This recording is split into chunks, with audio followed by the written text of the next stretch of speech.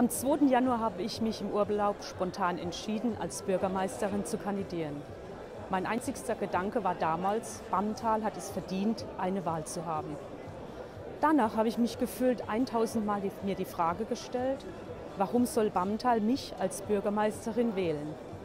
Mir ist dazu absolut keine politische Antwort eingefallen. Die Bürger haben für mich im Wahlkampf diese Frage beantwortet.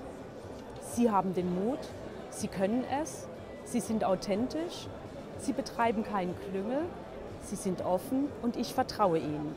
Was soll ich noch dazu sagen? Daumen hoch für Bamtal und Daumen hoch für diese tollen Mitmenschen.